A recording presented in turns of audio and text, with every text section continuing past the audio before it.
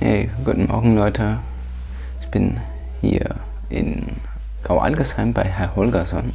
Falls ihr euch wundert, warum ich so ein bisschen verschlafen noch aussehe, wir haben hier übernachtet, umgeben von Büchern. Ich bin hier im Kinderzimmer jetzt. Und ich erzähle die Sache gerade ein bisschen rückwärts, wie die Buchhandlung sonst so aussieht. Die ist nämlich was Besonderes, hat ein besonderes Konzept. Gegründet wurde diese Buchhandlung unter anderem von Jasmin Marschall, die mit, mit, mir, die mit mir zusammen in Mainz studiert hat. Und ihr seht da hinten diese Umbreitkisten, also diese Bücherwannen. Da kam heute noch der Fahrer an und er hat sich zu Tode erschreckt, weil er nicht wusste, dass hier jemand liegen würde. Und dann habe ich ihn kurz auf, auf uns aufmerksam gemacht. Äh, und er hat den Schreck seines Lebens, glaube ich, heute Nacht gekriegt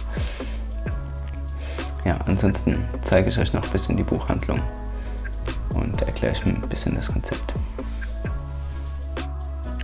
Ja, hier hat ein Teil von uns übernachtet. Wir, das sind die jungen Verlagsmenschen Rhein-Main in diesem Fall. Hier ist mal ein Schwenk über die Buchhandlung. Ihr seht, das Ganze ist aufgebaut wie ein Wohnzimmer. Das bedeutet, ähm, es gibt hier so einen Wohnzimmerbereich und es gibt so einen Küchenbereich. Da sind dann auch die Ratgeber dabei. Und es gibt ein eigenes Kinderzimmer, das fällt sehr groß aus. Das war ursprünglich auch gar kein Teil der Buchhandlung mal. Und hier gibt es eine ganz, ganz tolle Auswahl, sehr liebevoll alles gestaltet, sehr hochwertig, auch von den Vermietern renoviert worden bei Neubezug. Die haben sich eine Buchhandlung gewünscht. Ja, so ein Abend, so ein Stöberabend in der Buchhandlung ist ziemlich lang, deswegen konnten wir uns stärken. Ja, ist wie in einer richtigen Wohnung und sogar auf dem Klo gibt es Bücher. Vielleicht an dieser Stelle mal ein bisschen noch was zur Inhaberin. Jasmin Marschall ist seit ein paar Jahren Veganerin, äh, macht gerade auch eine Ausbildung zur Yogalehrerin. Da hat sie jetzt in Kürze Prüfungen, das schlägt sich auch in ihrem Sortiment nieder. Also es, äh, es gibt keine Kochbücher mehr mit Fleisch, es gibt sehr viele Ratgeber. Bei der Orientierung in der Buchhandlung helfen solche Tafeln, wie ihr sie gerade gesehen habt. Es gibt ein paar Lieblingsverlage, die man sehen kann. Diogenes war dabei. Wir haben uns dann so, wie gesagt, einen ganzen Abend durchstöbern können. Und ich hatte sehr, sehr viele Bücher dann in der Hand. Hier ist der neue Roman von Mareike Fallwickel. Besonders gut hat mir auch diese illustrierte Harry Potter Ausgabe gefallen. Ich hatte die vorher noch nie in die Finger bekommen die sind wirklich fantastisch. Ähm, in der Buchhandlung gab es jetzt nur den vierten Band. Hätte es auch den ersten gegeben, dann wäre ich sicherlich wach geworden. Ja, das sind einige der Bücher, die ich dann nochmal so durchgestöbert habe und mich da so ein bisschen durchgefräst habe. Also wurde dann auch entsprechend spät. Und die Rechnung, die kam dann natürlich pünktlich am nächsten Morgen. Ein paar von uns hatten schon abends bezahlt. Der Rest, darunter ich, haben das dann am nächsten Morgen gemacht. Samstag in aller Früh wurden wir rausgekehrt. Und da hatten wir natürlich noch die ganze Nacht Zeit, weitere Bücher zu finden. Und entsprechend habe ich auch ein bisschen was mitgebracht. Was das war, das zeige ich euch jetzt. So, da habe ich einmal mitgenommen von Amelie Nothomb, Böses Mädchen. Ich hatte noch ein anderes Buch in der Hand. Mitgenommen habe ich es vor allem, weil Ilke von Buchgeschichten immer davon schwärmt.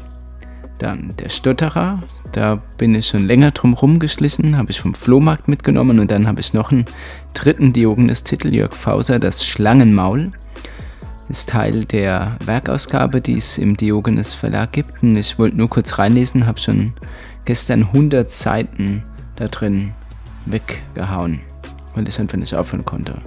Ferdinand von Schirach ist ein Autor, der mir sowieso sehr gut gefällt, ein großer Stilist und auch dieses Buch von ihm kam ich einfach nicht drum herum und habe reingelesen und musste es dann auch mitnehmen.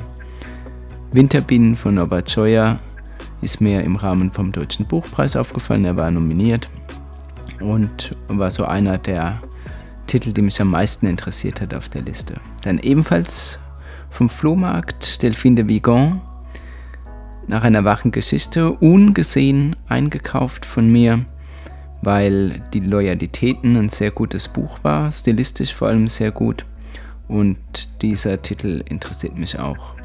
Das hier, das Büro der einsamen Toten, könnte ein Weihnachtsgeschenk für meine oder ein Geburtstagsgeschenk für meine Mutter werden, die diesen Kanal Gott sei Dank nicht guckt. Deswegen kann ich das hier spoilern. Ungewöhnlicher Detektiv, beziehungsweise gar kein richtiger Detektiv, muss einen Mord aufklären. Erster Teil könnte interessant sein. Für meinen Neffen habe ich das hier und eventuell eher zum Vorlesen gedacht, dieses andere Kinderbuch hier. Und was mir da aufgefallen hat und weshalb ich es mitgenommen habe, ist, ähm, dass die Sprache überhaupt nicht so kitschig und so Conny-mäßig ist, sondern da geht es richtig zur Sache. Drei Helden für Mathilda. Das waren die Bücher, die ich mitgenommen habe. Ich hoffe, euch hat es gefallen, dieses Video und auch die Buchhandlung Herr Holgersson in Gau-Algesheim. Freue mich über eure Kommentare zur Buchhandlung, zu den Büchern. Macht's gut, bis zum nächsten Mal. Ciao.